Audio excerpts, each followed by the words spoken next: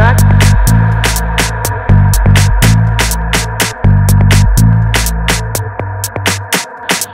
Grant me to serenity, to accept the things that I cannot change, the courage to change the things that I can, and the wisdom to understand the difference.